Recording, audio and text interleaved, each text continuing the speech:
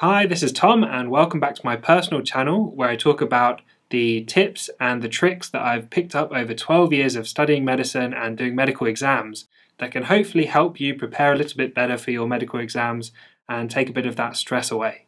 In this video, I'm going to be talking about why it's so important to be tracking your learning in preparation for exams. And I'm going to put resources on the Zero to Finals website at zerotofinals.com slash tracking where you can find resources that will appear throughout this video, such as the tracking tables and also the blank calendars so that you can plan your revision strategy in your preparation for your exams. This video is sort of a follow-on video from the video I did last week where I talked about testing. And if you haven't watched that video, I recommend going to have a look at that first because it features some important concepts that will appear here, such as the forgetting curve, the testing effect, why testing is so important, and also a concept called the testing sandwich, which is a formula I've used for years and years in order to really prepare my knowledge for exams. So this video is all about tracking your learning and how you can use tracking in order to really accelerate and improve the studying that you're doing in preparation for exams. So we're going to talk about a few concepts and I'm going to put them up here along with timestamps so that you can skip ahead to any sections that interest you the most or watch through the whole video because that will make the most sense. So we're going to start by recapping briefly the forgetting curve and how that applies to tracking your learning. We're going to talk about the testing effect and how that applies to tracking your learning. We're also going to talk about the benefits of tracking your learning as well as how to build a tracking table and how to use that tracking table to organize your time and improve the way that you study in preparation for your exams. Let's briefly recap the concept of the forgetting curve. When you first learn something and you're trying to retain that information in your memory, within a couple of hours you forget most of what you learnt. And then you continue to forget that information, but the rate at which you forget that information slows down. So you get an initial drop in what you remember, and then it gradually starts to plateau, let's say around 20%. When you repeatedly learn that information, the rate at which you forget it starts to decrease, meaning that every sequential time that you learn something, every repetition that you put in trying to learn something, you forget that more slowly, so that information stays with you longer. So, repetitions of learning information is really key. There is a way to go one step further than this and retain information longer and have your memory of that information fall more slowly. And that's something called the testing effect. And this is where you test yourself on information and then that information is retained in your memory for longer, which is really useful in the lead up to exams. Testing yourself is also a really useful way to get feedback on how well your revision is going and how ready you are in preparation for your exams. And that leads us on to tracking and the importance of tracking your learning and tracking your test results in order to see where you're up to with your exams and also to plan your revision strategy so that you're absolutely prepared when the exam day comes around.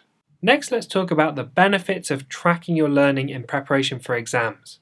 And the first benefit is that when you test yourself and you track the test that you're getting, you know where your weaknesses are and where your strengths are. And this allows you to know where to put the most time and revision in order to get the most benefit from your efforts.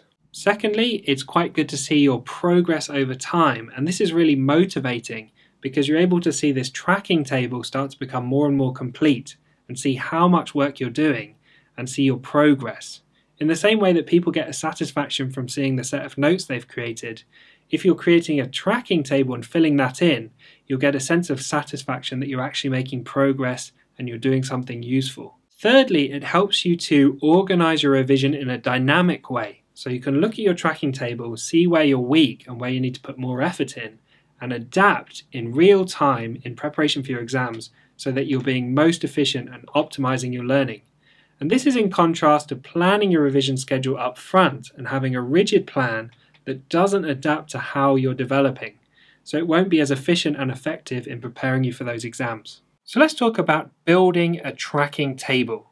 And the first step in this process is to take your exam and to break it down into individual topics that you can study in between 30 minutes to two hours. And we're going to apply something called the testing sandwich. And I've got a whole different video about testing, so it's probably worth having a look at that if you haven't done already. But this testing sandwich involves starting each study session with short answer questions, then studying your notes on the topic, and then doing some multiple choice questions afterwards. So you've broken down what's going to come up on the exam into different topics that you can study in 30 minutes to two hours. Now that you've got all the topics that you need to cover for your exams, you can start creating your tracking table. And you've got a few options with how you do this. You could hand draw the tracking table, or you could use a spreadsheet on a computer using numbers or Excel. And if you go to zerotofinals.com slash tracking, you can actually download a template um, that I've put together on tracking everything that you need to cover for medical school finals. On the left hand side of your tracking table, you have all the topics that you need to cover for your exams. Then I usually start out with three reviews, and these are three different columns that have one review each. And each review is a time where you sit down and you study that information, including doing the questions on that topic. So within each review, you have a section where you can put the date, then a section where you can put the pre-study question score. So this is the short answer question score. And then the final section is for the MCQ question score.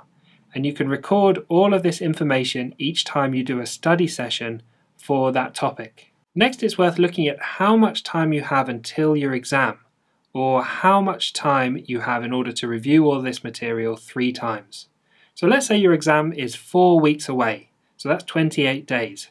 And let's say you have 10 topics that you need to cover, and you're going to cover each topic three times. So that's 30 study sessions. So that's approximately one study session per day to cover everything three times before your exam. The next step is really just to get started. So let's say you're on day one and you decide to study cardiology and you're going to implement the strategy that I call the testing sandwich.